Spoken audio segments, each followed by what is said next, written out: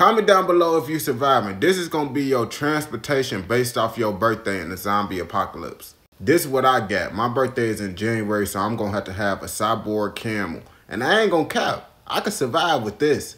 Now, as long as that motherfucker ain't going slow, but if it's a cyborg, that mean that motherfucker should be able to do some extraordinary ass things like go fast, hop high as hell. And you see he already come with the chopper on standby, so I'm ready to go. If it could do what I think it could do, this motherfucker gonna be basically like having superpowers in the zombie apocalypse. February got an ATV. I ain't gonna cap. You can't really do shit with an ATV. If you don't know how to survive, you over it. Uh, March got something decent. Ain't no zombies gonna be able to get inside this motherfucker. They gonna be able to survive for sure as long as they got gas. April bogus as hell. I ain't gonna cap to you. You got no protection with that motherfucker. That shit is worse than the ATV. Well, it do got guns and shit on it, so you might be able to survive with that motherfucker if you good at surviving. May gonna have it good. They got a whole flight suit. They gonna be able to get all across the world with that shit, and they don't gotta worry about no zombies. Well, that's only if they flying in the air. And hopefully it's able to turn into a book bag, because if it can't fold into a book bag, they ain't gonna be able to move around with that motherfucker on the ground. June got a tank. Ain't no zombies gonna be able to get inside that motherfucker. As long as they got gas, they don't gotta worry about zombies. But that shit is big as hell, so it might draw lots of attention. It gonna draw attention of the zombies and the people that's trying to take your tank from you. Yeah, July over with. You was not surviving with no electric tricycle. They didn't give you no weapons to go with that motherfucker. Man, what the fuck August got going on? I can't tell if that's a boat or a car.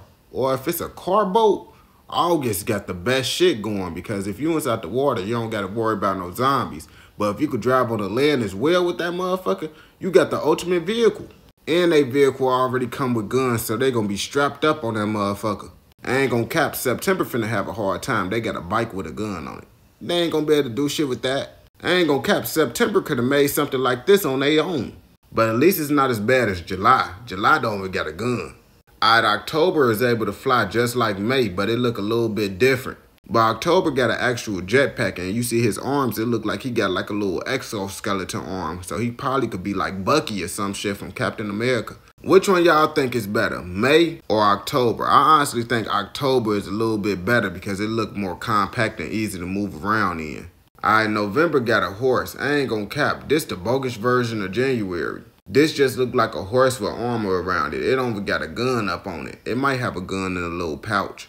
But y'all see, January got a full cyborg camel with a motherfucking gun up on it. Last we got December. I ain't gonna cap. I don't know if this good or bad, you feel me? Cause this shit look like it's slow as hell. And that motherfucker big as hell, so motherfuckers gonna be able to notice that. So if motherfuckers wanna shoot that shit out the sky, it's gonna be easy for them to do it. But which month do y'all think got the best transportation?